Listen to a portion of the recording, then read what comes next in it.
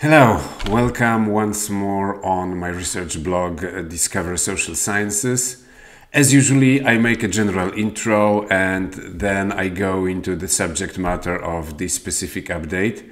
So, in general terms, as always, under me in this video window, you can see that uh, address of a website discoversocialsciences.com if you go to the description box below the video, you will find the same link.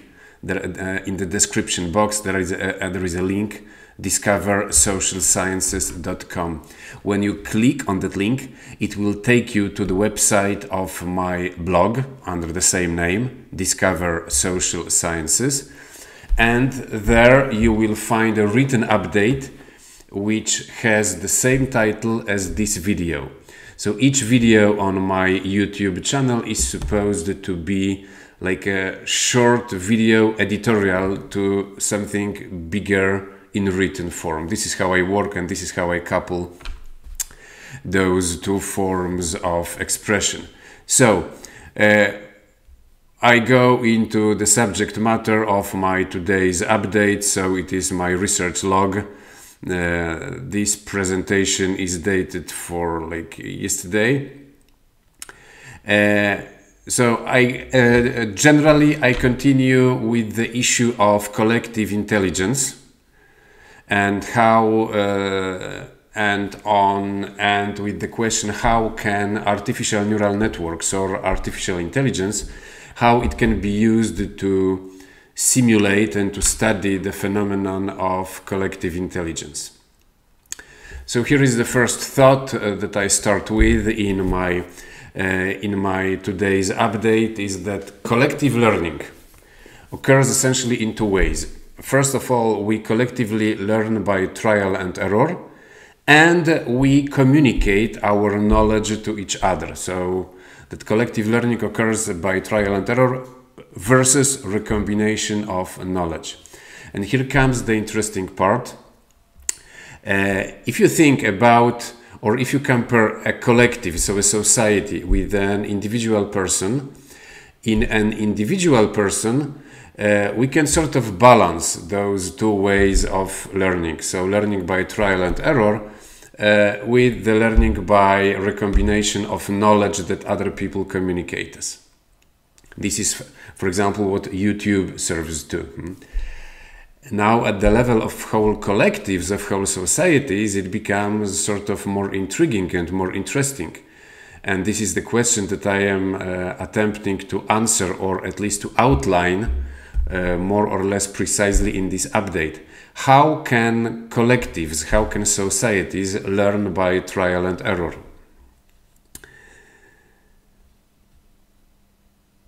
My uh, by the way why those eggs in uh, in my slides those broken eggs are to me one of the best representations best possible visual representations of what trial and error is huh? um, so coming back to the subject matter of my update if we want to learn by trial and error, we need two things. First of all, we need to recognize and acknowledge error as such. So we need to acknowledge some kind of frustration with the state of reality or with the outcomes of our own actions.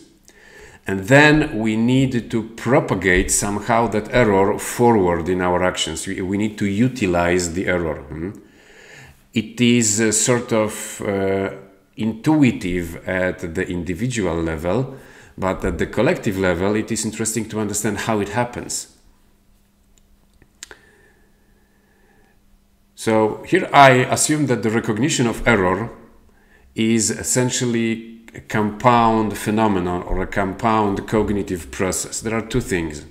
First of all, when we register or when we acknowledge some kind of outcome as an error, it means that we are frustrated with an objectively measurable gap between our expectations and reality. Yet there is another layer. An error is something that uh, just frightens us. An error is something that makes us freak out. It is that, uh, that very fluid, uh, moving frontier between chaos and order in our existence. An error is like a little bit of chaos that we haven't uh, that, that we haven't ordered yet. Huh? And here I connect we in my update to a well-known theory by Nassim Nicholas Taleb, the, the so-called Black Swan theory. You can read about it more abundantly in other readings. Here I give just a short sketch of that theory. And uh, the Black Swan theory essentially claims that we collectively tend to silence information about sudden unexpected events which, expect, uh, which escape the rules of normality, the so-called black swans. And yet our social structures are very significantly, maybe even predominantly shaped by those unusual events. Just a little bit of context here. Uh, Nassim Nicholas Taleb is a guy who like grew out of the financial world, uh, out of risk management, out of financial strategies and this is uh, and his theory is essentially rooted in his studies on risk, on financial risk. Now I have already used that approach in uh, a neural network which I presented a few weeks ago. In the written version of this update you can find the link. I made a network, a piece of artificial intelligence, where I sort of coded uh, a disturbance, an external disturbance, an event which uh, disturbs the ordinary working of the network and which gets triggered under specific conditions. This is like a mathematical approach to what a black swan could be. Uh, now, how can we recognize at the individual level, at the behavioral level, that we are adapting? So, how can we recognize adaptative change? How I translate it into like another take. How do collectives propagate information about errors? So here comes my like quite fresh concept. It is not yet a theory. It is rather a hypothesis. I assume that when there is any sensible modification in my behavior. So when you observe me from outside and you can see a behavioral change in me occurring over weeks or months, I change my behavior probably because I want something more. I want something that I didn't have in the past.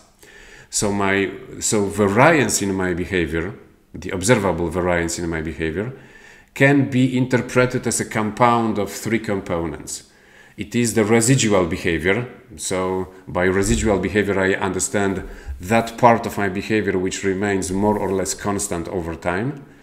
Then there is adaptive change after the recognition of error. And there is an aleatory component because sometimes I do things that I don't understand myself. And finally, a few thoughts about the application of collective intelligence about uh, in uh, management, in goals setting, and planning. In management textbooks and in my management lectures, uh, you can frequently find that uh, that like staple content that we need to set goals for ourselves and we need to plan how to reach those goals. And it is perfectly true, I still stick to that principle yet. For example, in my own experience this year, as I have been developing an investment strategy for myself in the stock market. Uh, I discovered that being relentless in experimenting with new things is very important in discovering what my goals should specifically be. Hmm? So building a method of adaptive learning is just as valuable as and complementary to preparing a plan with clearly cut goals. Goals are cognitive constructs. Uh, so goals are in our head, goals are not in reality. Uh, so goals are cognitive constructs which we make to put some order in the chaos of reality. And these constructs are valuable tools for, gui for guiding our actions yet they need to be in some kind of functional loop with our experience. We need to be consistent and yet we need to be flexible. So my my connection here to the theory of black swan is that generally when we set on doing something important on the long run, when we set on implementing and building a big strategy, we stumble upon those black swans, upon those unexpected events all the time. We just are not aware that they are black swans. Huh? And uh, apropos of that black swan strategy, uh, I go back, or, or black swan theory, excuse me, I, I go back for, for a moment. Uh, it is important for, for me, it is important to understand that those so called black swan events, so unexpected sudden events, they are just unexpected from our subjective point of view. Uh, my stance, my theoretical stance is that reality is what it is. Hmm? So when something appears as a black swan event, it simply means that our cognition of reality was somehow imperfect. Uh, but the event that we call a black swan is just as uh, is the same kind of component in, in reality as other events which we could predict and could understand better.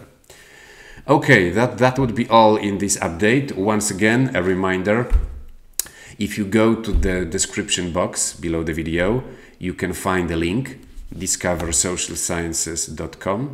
You click on the link, it takes you to the website of my blog under the, the same general heading, Discover Social Sciences. On that website, you can find a written update which has the same title as this video. And this video is sort of a short visual editorial to the written update. So, as always, I wish you to have fun with science and to have fun with life. Bye.